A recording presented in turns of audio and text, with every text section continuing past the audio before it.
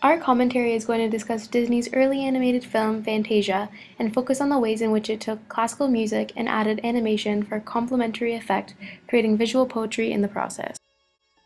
Fantasia's inception began when Walt Disney decided that Mickey Mouse, his most iconic character, warranted a popularity boost.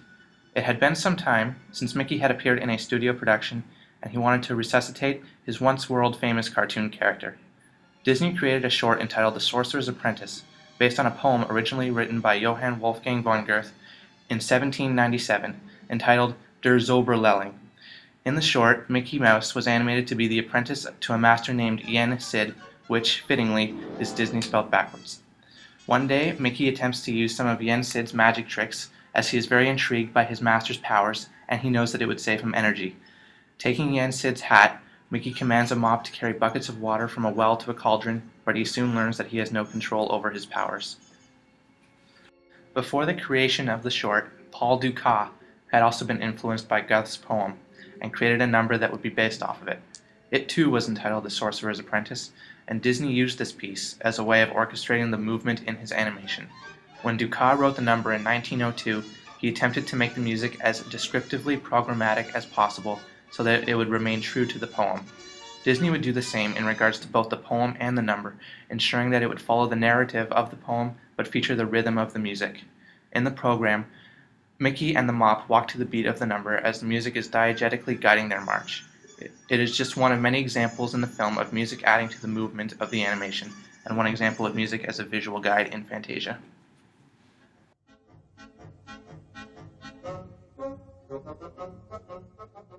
The idea of taking classical music and creating matching animation for it was something that had somewhat existed prior to Fantasia.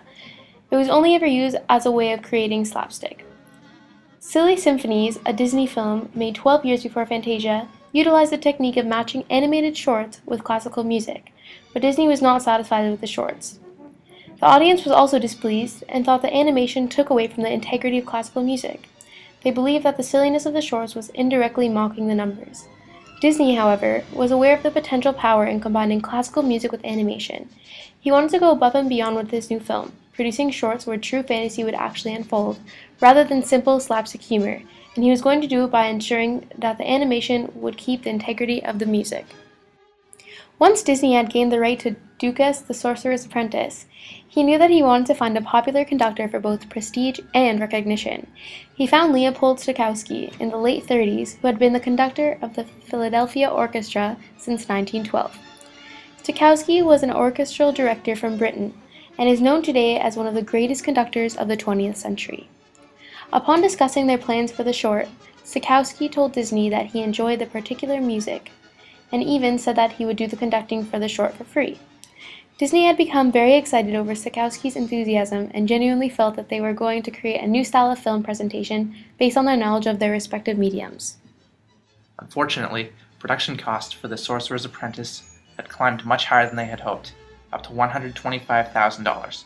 Much of this was due to the expense of their technology, and Disney quickly realized that the short itself would never be able to earn all that money back.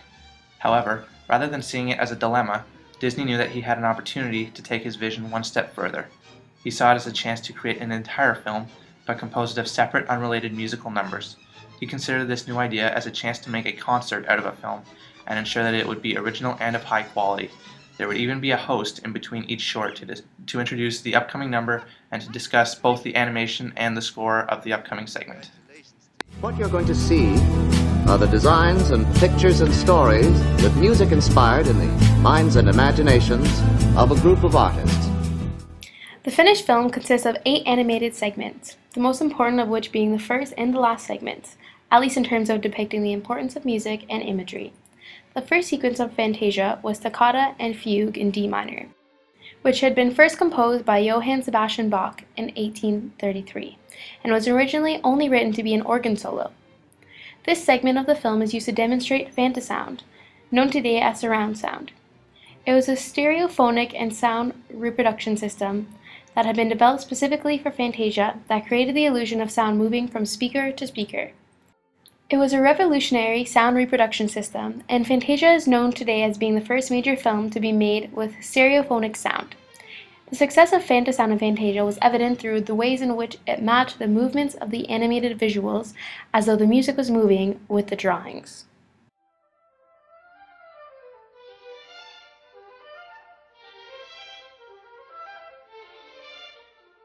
Toccata and Fugue in D minor was the first program of the film, and was likely chosen to be so due to the fact that, on top of introducing Fantasound, it was the least narrative-oriented segment in the film. The sequence begins with multiple live-action shots of Stokowski and his orchestra, illuminated with bold colors and backed with superimposed shadows. As the number progresses, this segment fades into a series of non-figurative animated patterns, consisting primarily of lines, shapes, and colors. This abstraction is something that Disney Studio had never worked with previously, and chose to paste the entire piece to the score. The image of this segment exists to reflect the rhythms and sounds of the music, as though we are seeing a visual representation of the number.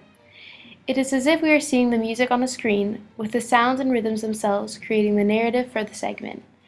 Many have described this segment as a subconscious insight into the way we visualize music when we listen to it.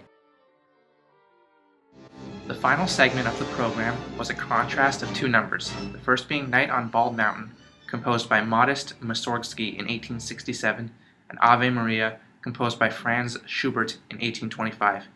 The segment begins with Night on Bald Mountain as the devil, known here as Chernabog, emerges to summon evil spirits and restless souls from their graves.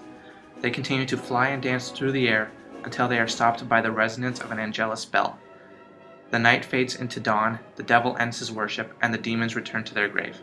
A line of robed monks enter, singing Ave Maria. They walk with lit torches and eventually enter a cathedral in a very long and continuous shot. Both numbers in this segment are very powerful, but are rendered even more powerful due to the ways in which they offset one another. Many have viewed this sequence as a representation of the conflict between the profane, represented by Night on Bald Mountain, and the sacred, represented by Ave Maria, doing so with two completely unrelated pieces of music. It is an exemplification of the fact that music and imagery are able to create conflict and a cohesive narrative, as well as represent opposing ideologies, even without the use of dialogue. The tone and rhythm of the score can set the tone for the visuals and perfectly sum up the emotions of what is happening. In this sequence, we easily identify Night on Bald Mountain as being evil and Ave Maria as being angelic, especially based on the way they complement the imagery. Fantasia is considered today to be one of Disney's greatest achievements, particularly through the ways in which it matched modern animation with classical music, creating powerful sense of visual poetry as the end result. It exemplifies the combination of science and creativity, engineering, and imagination that Disney as a whole represents. It is literally the Imagineering of music.